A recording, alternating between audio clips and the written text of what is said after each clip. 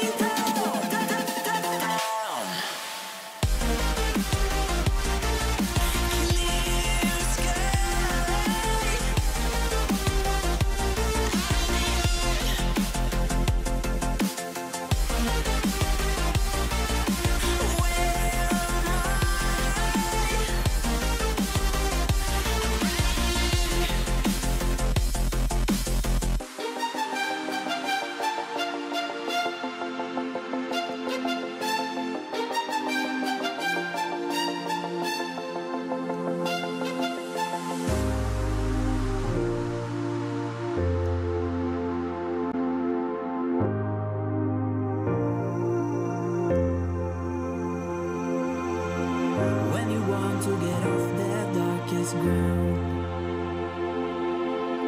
gravity pulls you straight down.